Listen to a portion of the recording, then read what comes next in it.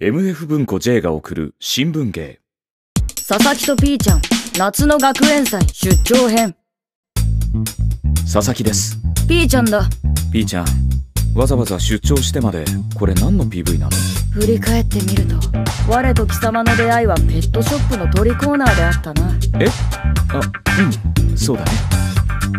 ピーちゃんを購入した時のレシートなんか捨てられなくて未だに取ってあるんだよなそれからいろいろなことがあった。異世界では王家の跡目争いや隣国との戦争に巻き込まれた。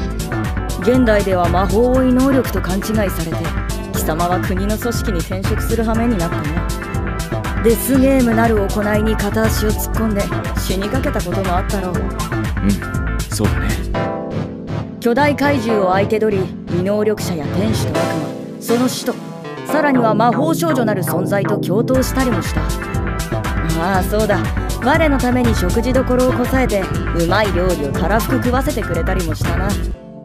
ピーちゃん？何その走馬灯みたいな語りっぷり。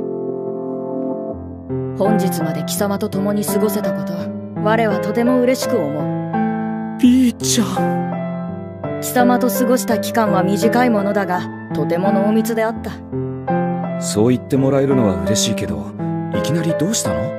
不穏なんだけど。貴様よこれからも我と共に過ごしてくれるだろうか。もちろんだよ。っていうかもしかしてシリーズ終わっちゃうとか？いやその逆だ。